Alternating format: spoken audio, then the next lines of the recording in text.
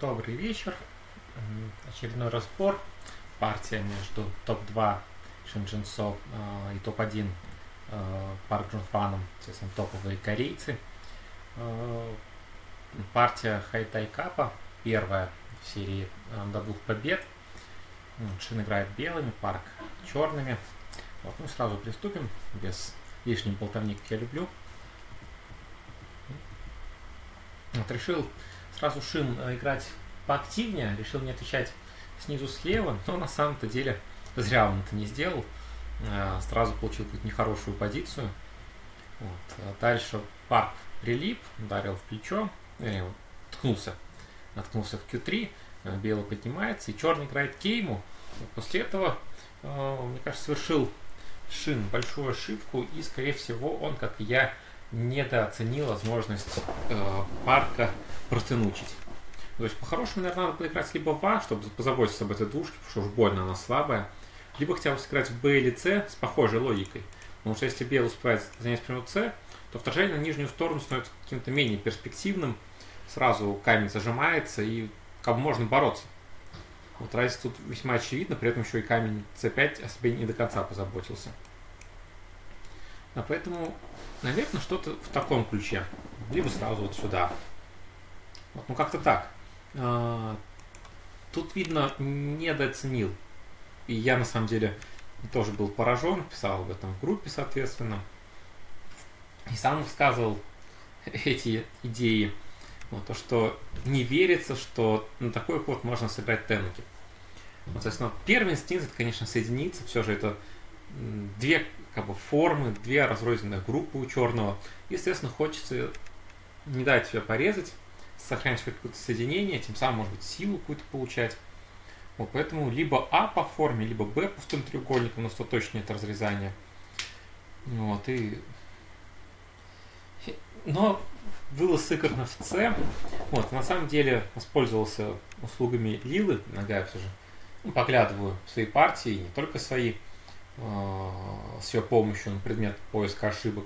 ну, даже не ошибок, а э, что еще можно в данной ситуации интересного найти.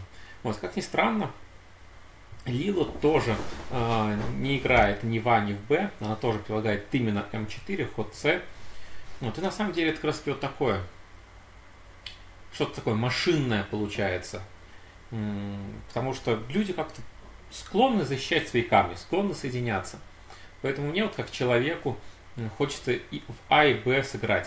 То есть такой немножечко, может быть, машинальный ход, вот, но все же, опять же, всегда хочется связать за собой соединение. Не хочется давать себя порезать, не хочется встревать. Поэтому вот как человек в данном случае, э, ну, такой любитель, скажем так, сыграл бы на соединение. Вот профессионал сыграл как машина – сыграл хладнокровно, по сути, не привязывается к своим камням. Это, конечно, большая ошибка всех начинающих, привязываться к своим камням, но, как казалось, я тоже, кажется, начинающий, потому что о камнях слева уже хочу, хочу позаботиться. Но, тем не менее, было сыграно в М4, ход удивительный для меня все еще. Я хоть и начал понимать его логику, ну, в итоге понял, вот, но все еще так хочется соединиться снизу слева. Вот, ну, понятное дело, сейчас белый сыграет здесь, то, конечно, такой размен будет сильно в пользу черного, потому что камни черного слева еще не мертвы, камни снизу не особо как бы перспективных, совершенно неинтересно тащить. Вот камни белого снизу справа, они, во-первых, большие, во-вторых, почти мертвые. Все очень тяжело что-либо с ними сделать. Там единственное Адзе остался, это какой-то М2. Вот, ну и то такое. Йоса Адзе, назовем это так.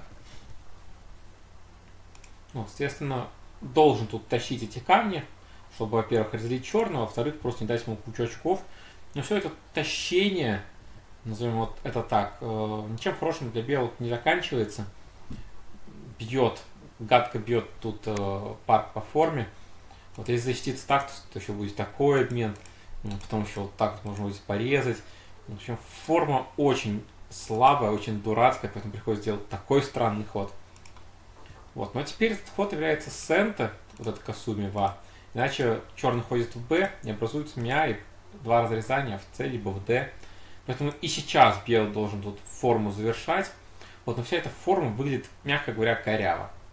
По итогу она будет долго бегать, как бы спойлер такой, она будет там выживать в мучениях буквально с двумя очками, там, с тремя. Вот, и уже видны дивиденды черного от атаки этой группы. То есть черный укрепляется снизу, укрепляется в центре. Э, вот эти камни даже становятся как бы частью такого небольшого мешка, который так вот визуально чуть-чуть начинает образовываться. При этом группа белых все еще слабая, а очки справа в углу уже отданы. Вот он продолжает черный добирать. Он понимает Шин, что тащиться дальше смысла не имеет. Ну, потому что если еще сейчас прыгать, ну, то прям можно вклиниться, нужно тут защищаться. Ну и снизу черного уже такая солидная территория, порядка 30, наверное, очков, и отнимать ее становится очень-очень тяжело. Вот, естественно, территория белого снизу слева уменьшается, поэтому должен, конечно, он впрыгивать.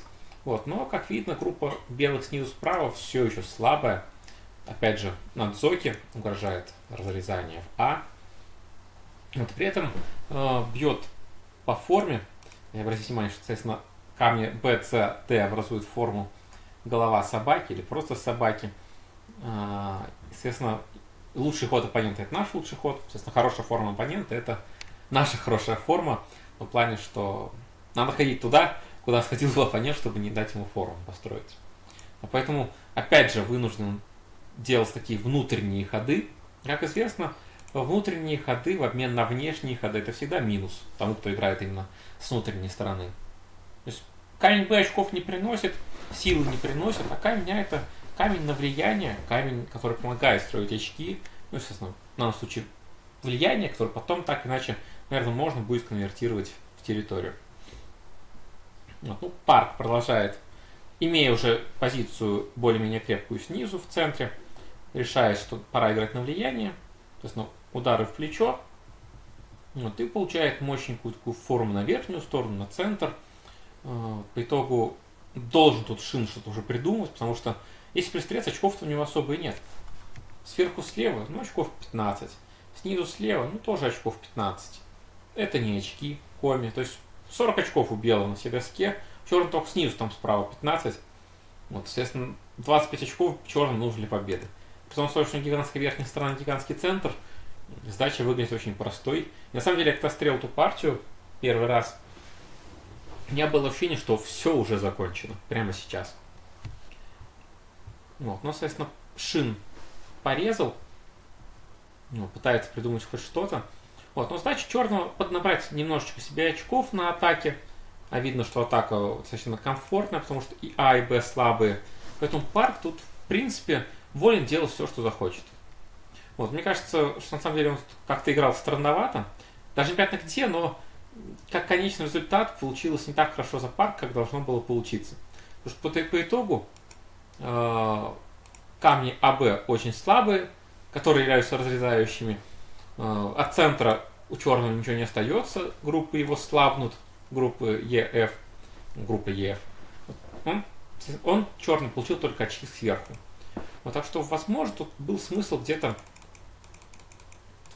э, забить даже на камень слева, может быть, сыграть, к примеру, ва, либо потом э, не играть такой ход, не играть агрессивно на разрезание, вот, а просто сейчас э, прыгнуть сразу. Ну, в общем, просто не тратить ход Б. Потратить его на защиту своих форм. Вот, возможно, ход Б был слишком агрессивный и э, ну и как-то, может быть, его стоило сэкономить. Вот по итогу имеем то, что черный, конечно, стабилизируется, но очков снизу и слева он не набрал. Вот. Еще и об этих камнях должен заботиться, потому что отдавать их совсем не хочется. Если черный сюда бы не сходил, то белый в большом масштабе либо захватывал, либо так, либо кеймить, к примеру. И внезапно у белого там, где у него, было, э, где у него были слабые группы, внезапно образовывается порядка 15-20 очков территории. Это слишком много. А поэтому приходится жертвовать очками сверху, вот, забирать, скажем так, небольшой огрызок в виде камней слева. Вот, но и белый продолжает этот огрызок жертвовать, вынужден черный этот огрызок добирать, а белый, там, где были очки черного по итогу, сам получил очки. И при всем при этом камни черных тут все еще очень слабые.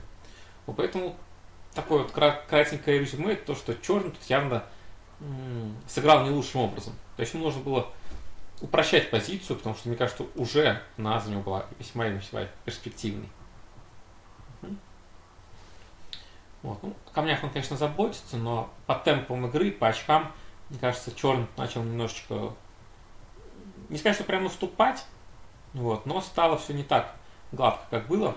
Вот единственное, что радует, это то, что белый все еще не живой до конца снизу справа, о чем я говорил чуточку ранее. Вот, и это является таким маной небесной, э, спасительным лучиком. Ну, черный, естественно, на атаке добирает столь необходимые очки. Вот, красивый пустой треугольник. Он, соответственно, защищает от э, каких-либо прилипаний сюда. Потому что видно, что тут уже дама Зумарин наклевывается. Вот, но в целом, конечно, забавная форма в данном случае. Если уж хочется защититься, почему не таким пустым треугольником или там хотя бы таким. Непонятен выбор такого пустого треугольника. Вот. Такая микроразница, видимо. Ну, по итогу э, выживает белый. Вот, но черный, в принципе, какое-то количество очков добрал на этом деле. Э, сверху справа там немножечко удержал. Э, слева успел э, сыграть. Снизу успел М2. Тоже ход немножечко территории прибавляет. Вот, все черный немножко белого душит. Должен тут белый реагировать. Естественно, понятное дело, что Q2 по очкам намного больше, чем S10. Вот, ну и икра перешла в стадию Йоса. Главное сейчас черному не облажаться, в принципе. Мизерный запас у него по очкам наблюдается. Вот. Началась такая ко-борьба, по сути, не особо значимая, потому что очень много ко-угроз а, у черного. То есть это какая-то пятиэтапная ко-борьба. Вот, вынужден, разумеется, ее белый сдать. Вот, но по очкам-то все еще все плохо. Он пытается Шин хоть что-то придумать, а, но степени не хватает. Вот, и, как видно, группа черного здесь не режется ввиду двойной ку борьбы А и Б. Вот, и поэтому Шин должен был признать поражение, потому что ему до этого не хватало очков. Вот, а сейчас он потерял много очков, играя здесь. Совместно с черным успел в G, к примеру, сходить. Вот, ход в G стоит очень много. А, то есть элементарно это э, пропихивание в ваш, который полностью вносит угол белым. Вот, при всем при этом белый только очки терял на попытке сделать хоть что-то. Черный только получал. Поэтому если до этого там было очков, очка 3 преимущества у парка, то сейчас это все 10 очков. Вот, ну и вынужден тут был естественно, сдаться, наверное, даже больше, чем 10. Вот, но тем не менее, начало было очень увлекательное. Парк, конечно, показал э, гибкость ума, недоступную людям.